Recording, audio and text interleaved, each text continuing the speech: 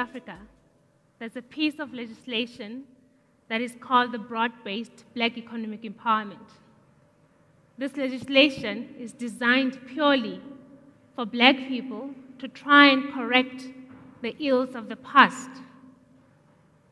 I, as an entrepreneur, in 2009, when I decided that I'm going to leave formal employment, I was hearing government talk about you need to be black, you need to be young, you need to be a woman to access all these opportunities that are in South Africa.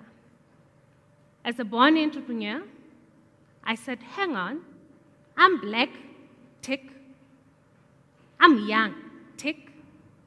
I'm a woman, tick. I'm beautiful and I'm hot, double tick.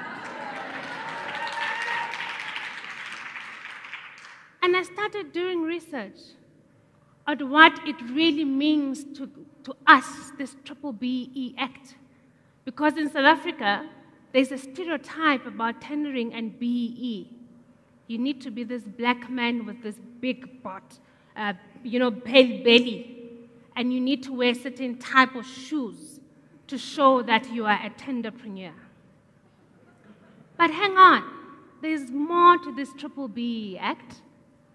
I found out that at the time there were seven elements to it, and the first one is ownership.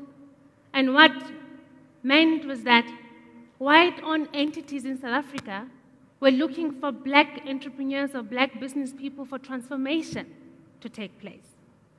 And instead of me complaining that we're not getting opportunities, for me it was, wow, this is how we correct the ills of the past.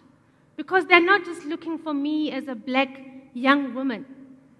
They're looking for me as a black young woman with masters in entrepreneurship. They're looking for me as a black young woman who is qualified, chartered accountant, or a scientist, or a business person.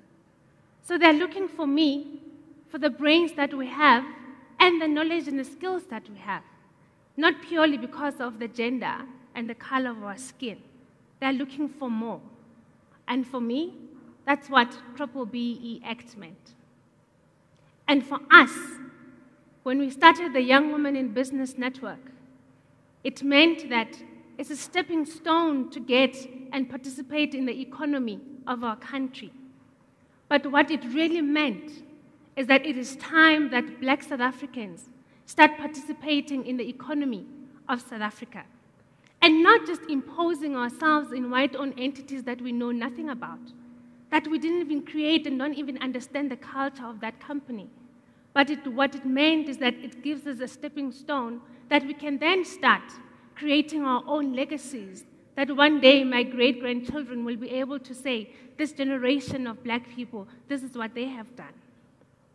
In 2014, I was then introduced to the concept of cooperative banking. Let me track back. In 2011, when I was doing research, I found out that stokvels make 44 billion in South Africa. Please hear me. I'm not talking about 4 million, or I'm not talking about 40 million. I'm not talking about 4 billion or 14 billion. I'm talking about 40 billion that for years we've been told stokvels are informal sector that is not recognized in this country. This is something that as black people we're told that we can't save, that we don't understand the culture of money and can't respect money. But yet we are able to save short-term savings that accumulates to 44 billion per annum. Hear me out. We're not talking about plastic money. That is credit card that when people call, we don't answer our calls because we now we need to pay back. I'm talking about money that is disposable cash the money that extends hands through black people in this country. But yet, for us, this is not business. For us, this is a way of life. This stokvels is a social thing that people come at the end of the month and then we save money. And then come the end of the year, between 15 December and 23rd of December, we spend 40 billion of that buying groceries. And this is something that we don't understand. Because for us, it's a way of life. For us, it's not business. For us, it's not us participating in the economy of the country. Remember, I said we track back? Let's fast forward. 2014, I'm introduced to the concept of cooperative banking. And when I listen about cooperative banking, I understand that, hang on, wait a minute. Cooperative banking is stokvels. And this stokvels is something that is now termed the Cooperative Banks Act. Because what it really means is that our financial sector, when I say our, I said the South African financial sector is one of the best in the world, but the black South Africans are not participating in that. Yet in 2015, 2016, the stokvels make 50 billion rand. This is the sector that is growing and still it's termed informal sector. And when I listened, I said, but this is stokvel. This is something that we understand. This is something that my great grandmother did.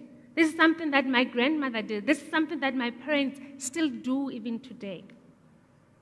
And when we started, we started doing research about what we can do to use the Cooperative Banking Act for us to participate in the banking sector. Because we believe that the current banks are not conducive to the black entrepreneurs. They're totally not. Our banks are not designed for entrepreneurship. Our banks are not designed for tenderpreneurship because tenderpreneurship or entrepreneurship is about purchase orders and tenders. And we find people running around with their purchase orders and tenders, not being able to do the job because they can't get funding. It's not that they are incapable, it's because they don't have the money to do this. So when we decided as a young Women in business network that we are going to talk to our members that we are going to save money every month because that's what a stokvel does. But instead of us spending 40 billion in a week to buy groceries, we're going to channel that money into enterprise funding. Because it is time that when we say we are entrepreneurs and real entrepreneurs, we need to put our own money into ensuring that our own businesses succeed without expecting somebody else to do that for us. And when we started in 2014, with the requirement being you need a minimum of 200 people, you need 100,000 rand of share capital. And we said, but that's 500 rand per person. When are we going to get to us funding 500,000 rand of a purchase order or, or a million rand of that purchase order? So we are going to put ours at 2 million rand. It means that those minimum 200 people are each going to pay 10,000 rand into share capital. And we're able to raise over 2 million rand in less than eight months, something that has never been done in this country. And over and above that, we save a thousand rand every month for a period of five years purely for enterprise funding. And today, I'm happy to say that we have over, we started saving in March 2016 a thousand rand. Now I'm talking to you, we have over 380 people. As a collective, we have over 6 million rand. Half of that we've already funded our enterprises, a minimum of 330, a maximum of 350,000 rand for their enterprises. Because what that means is finally, we get to invest in our own businesses and take ourselves seriously. And through that, it will then be an answer to job creation in our country. And it is through cooperation, not because of race or gender, it is time that we come together and start working together to create jobs in South Africa. And it is through that that we believe, as a collaboration, us working together will be able to reduce the 27% unemployment rate in this country. We'll be able to reduce that the 1,000 days of entrepreneurs they fail before they can even do anything. So, as the young woman in Business Network, when you're talking about banking, it starts with us saying we need to participate in the financial sector of our country. And secondly, it says it is this, this generation, us in the room, that will be able to change that. Because this is 22 years into the democracy, and it is us that have our economy in our, in our own hands. And as we're going forward and looking to participate in starting a commercial bank, we need to be able to take that into consideration and then say banking is a start. And when we start with banking, then we can move into insurance because when you have the number of people and the financial backing of that, then we'll be able to take back our country into our own hands and we'll be able to take back what is due to us. And then we can invest into your insurance, into education, because then we'll have the pride and the values that we put into that, into ensuring that South Africa becomes the world that we all want to live in, not as an individual, but as a collective. Thank you.